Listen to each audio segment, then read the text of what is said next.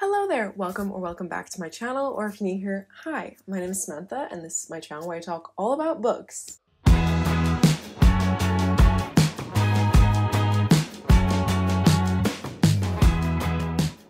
Anyway, today I'm coming to you with a very exciting video. This is actually probably one of my favorite videos that I've done in a really long time because in today's video, we're going book shopping. I recently went book shopping with my friend Evie, who I went to university with, and now we actually both work at the same library, although she is a librarian and I'm a library assistant, so our jobs are a bit different, but we do get to see each other quite frequently at work, which is amazing. Anyway, but recently we were both off on the same day and we decided to go book shopping, and I decided to vlog it because I thought, why not? And I'm so happy with how this vlog turned out. So I'm really excited for you guys to watch it. But yeah, I'm basically just gonna show you around some bookstores in London. And then afterwards, we're gonna haul the books that we bought. But after all the vlog segment is done, I'm gonna come back to you and I'm going to rate all of the bookstores and let you know what I really thought about them because we didn't do that in the vlog and I think we should have. Anyway, I'm just going to insert the wonderful clips of our book shopping adventure and then I will come back to you and rank those bookstores.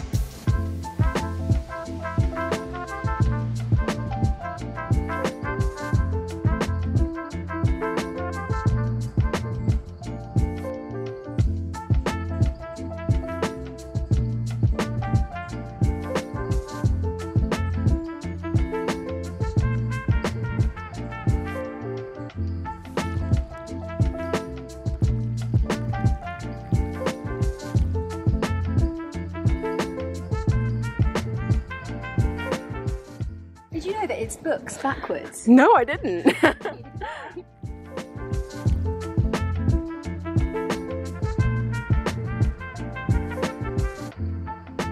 Hello, this is my friend Evie. We've just been book shopping all day. Well, all afternoon. Well, I bought a lot more books than you did. Yes, but I want to go back and buy more. Samantha's like, but can we go back? I'm like, I'm- yes, I'm we'll get so- the bus, we'll go, it's fine.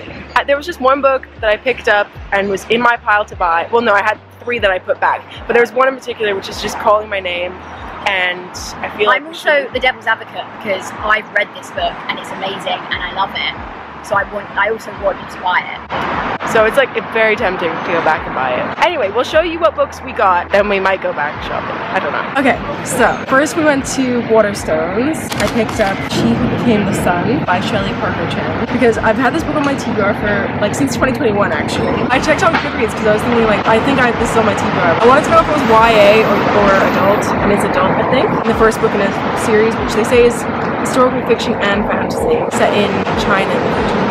Very excited about it. I love the cover. So that was the first book I got. I was very good actually. I only got three books. And then the other two were nonfiction because I feel like nonfiction is like harder to mess up potentially than fiction. I don't know which one to start with. I'm so excited about both of them. So I picked up Mother Tongue, The Surprising History of Women's Words by Jenni Nuttall, which I've recently heard about. I can't remember what, but this is definitely already on my Goodreads TBR. Yeah, I almost didn't get this, but it was just calling my name. It was right by Word Slut. It was just meant to be. And then probably like the funniest, weirdest, randomest purchase is another book that's been on my TBR for like a year, and so it's been it's definitely been on my radar, but it's just so silly.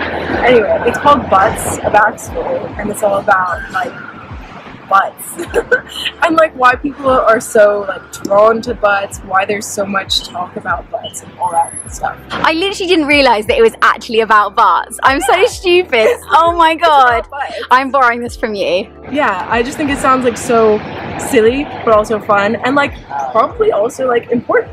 Like, why are we so obsessed with butts? So Alex is an asshole. So. why is he so obsessed with my butt? Who knows? But anyway, that's my little haul. Just three books. I'm very proud of myself. Can you hold them up for us so we can see them all? Hello. For those of you who've literally got no idea who the hell I am, I'm Evie, Samantha's friend. I bought like way more books than Samantha. I was not anywhere near as restrained. The first one that I bought is Even Silence Has an End by Ingrid Betancourt, and it's about her six years of captivity in the Colombian jungle. I've heard amazing things about this book, so it's like a memoir of her experiences. And I'm always fascinated by Latin American history because, like Samantha, it's where we met. I studied Latin America in at university so I'm really excited about that one. Next one I got from Gay's the Word we just went to and I got this. They gave me, because I bought so many books, they gave me a bookmark as well. Wonderful. Very nice. But this is the love letters between Virginia Woolf and Vita Sackville West, and I've heard really good things about this. I'm also a massive Virginia Woolf fan. I love Mrs. Dalloway. I love A Room for One's Own to the lighthouse as well. I don't really know anything about Vita Sackville West, but I'm really excited to discover more about their relationship and also about like about Vita as well. So I'm really excited to read that. It's also just pretty. It is gorgeous, isn't it? And you've got a lot of purple and pink going, know, so it's, it's nice. There's a real colour aesthetic there, isn't there? This has been on my list forever. So I got this from Waterstones. This is a selection of poems. It's called How to Cure a Ghost by Fariha Róisín. I might be pronouncing that name completely wrong, but this has been on my list forever. It's also gorgeous, and like inside, it's all different coloured pages and stuff as well. So I'm really looking forward to reading this one. So this I also got from Gay's the Word, and I was like going towards the counter with just two books. I ended up picking up this one and this one from like the last minute selection. So I ended up with double the amount of books. Never mind. So this is 100 queer poems. There's loads of poets in here that I know I love, like Jackie Kay, Carol Ann Duffy. So I'm excited for that one. Classic romance. Been on my list forever, and I've read other books by Lucy Score, and I love them. Talia Hibbert. Samantha got me into Talia Hibbert, so I love the Brown Sisters trilogy and I haven't seen this anywhere else, so I was very excited when I saw this in Foyles. I didn't know that I got you into the. Yeah? Oh. It was you that told me to read them. I forgot. And then this one I've heard is also really good. Not a Brown Sisters one, but the roommate risk is supposed to be. Oh, I love a close proximity. I didn't even realize. I might have to borrow that I actually at I some do point. also love close proximity. Oh my! I think it, it might be one of my favorite tropes. Yeah, I think me too. Actually, I also do love like best friend's brother. No, Oh, brother's yeah. best friend Oh yeah, and enemies to lovers. yes, can't go wrong with it. Yeah. But I love a friends to lovers as well. Actually, if it's done well, mm, Yeah. it can be done really badly when you're just kind of like, what And the it's like, fuck. they're both pining after each other, and neither of them know. I hate that. I prefer it when it's like when it's single point of view and like you know that one of them is, but you're not sure about the other. Yeah. And then yeah, that's my what I, I prefer. Yeah. This one is called In Deeper Waters and it's a YA by F.T. Lukens. I don't know very much about this, but Samantha said it was pirates and a love story, a gay love story. So this is also from Gay's the Word. How gorgeous is that cover? Like ridiculously aesthetic. And I'm a children's librarian, so I'm always looking for new young adult books to read and to basically recommend to our libraries. And then the last one, another pinky book. So this is Something Wild and Wonderful by Anita Kelly.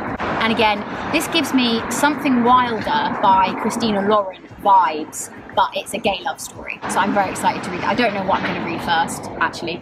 In fact, I don't even know if I'm going to be able to carry all of these. They're so makes me sad that I didn't buy more.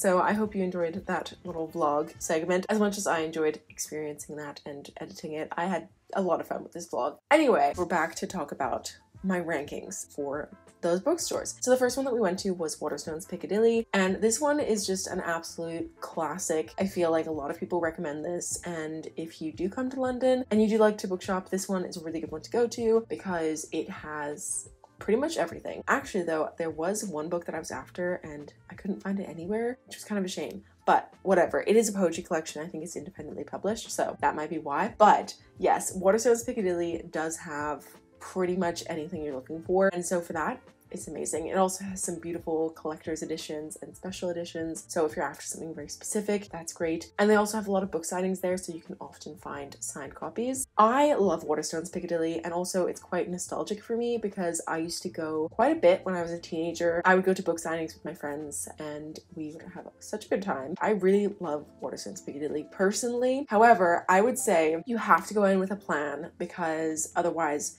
it can be a bit overwhelming because there is just so much everywhere. I really love Waterstones Piccadilly and I think I'm gonna give it an 8 out of 10. It's great, it has a bar and a cafe and you could easily spend a whole day there. It's got so many floors, I would highly recommend that you visit Waterstones Piccadilly. The next one that we went to was Foyles Charing Cross. I think this is like the biggest Foyles and I had actually never been before. I've been to other Foyles but not the one in Charing Cross. I really enjoyed Foyles. I actually think I might prefer Foyles to Waterstones. I just think that it was a little bit less overwhelming overwhelming. They still had loads of choice and it was still a massive place, but I feel like it was just a little bit calmer than Waterstones Piccadilly. Maybe because it's not like Piccadilly, like it's Charing Cross, which is a little bit quieter, so maybe that's why. I don't know. But it just to me felt a little bit more calm. They had a great selection and I actually found five books at Foyles that I wanted to pick up, but I only bought two because I'm being restrained. But yeah, they had so many great options and I would definitely recommend Foyles. I'm going to keep Waterstones at an 8 out of 10, uh, but I'm going to give Foyles a 7 out of 10. It had a much calmer vibe. I do still think I prefer Waterstones Piccadilly. Next we went to Skoob, and I didn't actually film anything inside of Skoob. It's a very small used bookstore. It's quite quirky, it's in a basement and it's quite cool, although I would say that it was not my favorite. I felt like their stock was a little bit outdated. Like I don't think you're going to find a great new release. Obviously not not brand new, but like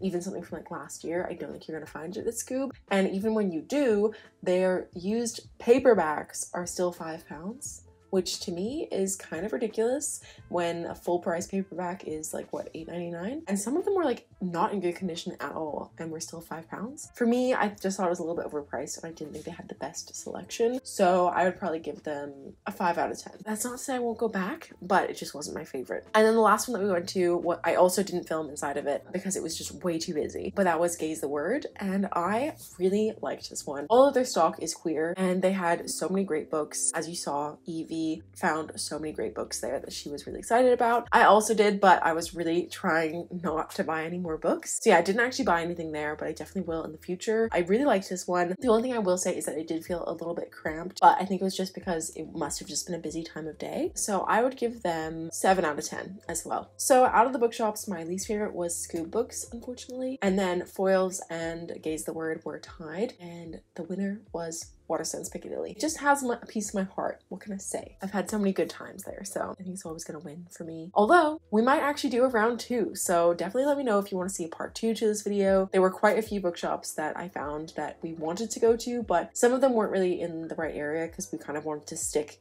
to like that sort of area. So yeah, we definitely want to do this again. So let me know if you'd want to see a part two of this video, and I will be happy to make that for you. Any excuse to buy books. But yes, that is all that I have for this video, so thank you so much for watching. I hope you liked it. If you did, please give it a thumbs up. If you're new here, feel free to subscribe down below. And if you made it all the way to the end of this video, please leave me a stack of books for Evie's ridiculous pile of books.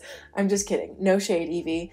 Eight books is a perfectly acceptable number to buy. But yes, please leave a stack of books because we hauled some books in this video. But yes, that is all that I have. So I'll see you very soon with another one. Bye. Oh, are you in focus? Yes, I think you're focusing. oh dear.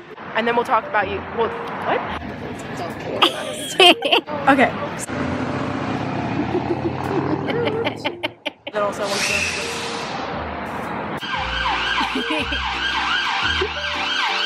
so this was one that I'm gonna wait. Yeah. Can people stop dying, please? Yeah, big crimes. it is rush hour. Lots of car noises. so rude. Drive quieter. Uh, what is the book we use called? Gay's the word. Gay's the word. Yeah.